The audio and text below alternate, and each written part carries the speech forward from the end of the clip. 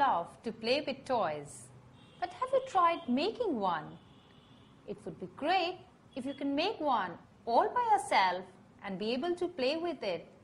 So let's try and make one. Taking a square sheet of paper, put the white side up. Now we need a center line and for that you need to fold it twice. First from top to bottom and then left to right. You make it a square again.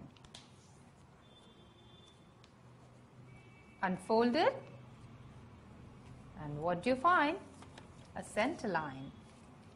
Now, fold the bottom part to this center line, press the fold and this bottom left corner has to be folded to the center line like this.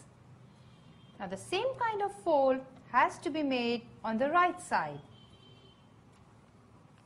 So lift the bottom right corner and bring it to the center line. It looks like this. Having folded both the corners, you have to fold the bottom side to the center line like this. Now, lift the top side to the center line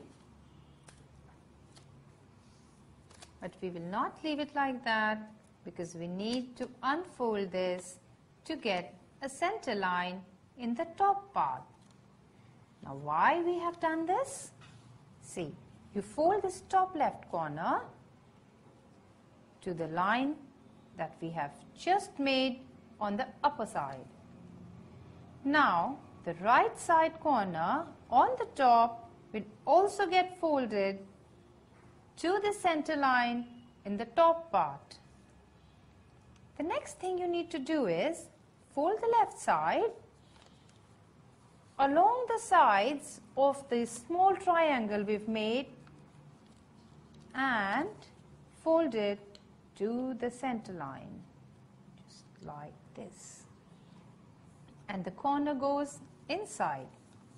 Similarly, the right side fold also gets folded to the center line. Press the folds. It still doesn't look like a toy to you at this moment, but very soon it will. Let me show how to hold this. Now this is the folded side.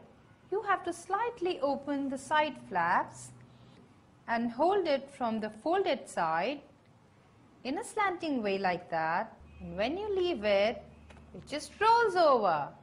That was fun.